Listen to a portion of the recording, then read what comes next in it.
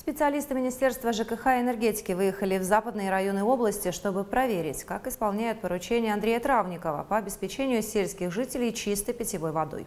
Рассказывает Александр Попов. Село Кокошино градообразующим предприятием считается железнодорожная станция. Есть и единственный фермер. Одно из препятствий для развития и даже выживания села – отсутствие питьевой воды. Богатое содержание железа, богатое содержание марганца, других минеральных веществ, даже попутный газ какой-то выходит. И, Это чревато как бы для здоровья чем? Да, конечно. Ну, те же онкологические заболевания вполне возможны, те же общее состояние э, здоровья.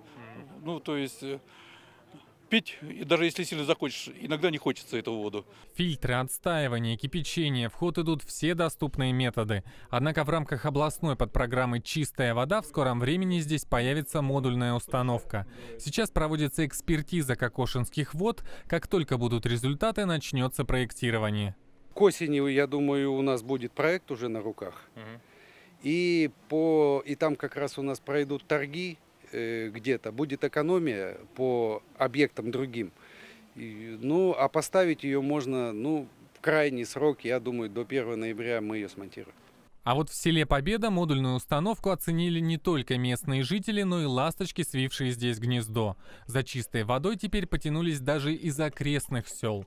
Если раньше мы делали акцент в первую очередь, конечно, города, это районные центры, то сейчас и уже в удаленные населенные пункты, вот такие как Победа, где мы сегодня находимся, уже сейчас пришли новые технологии очистки питьевой воды. За два года в селе победили бездорожье, провели водопровод, а теперь и обеспечили чистой водой. Теперь местные жители ждут в своем благоустроенном селе новоселов и бизнесменов так оперативно сделать дорогу, водопровод и модульную установку мы просто не ожидали просто не ждали. В восторге все это были.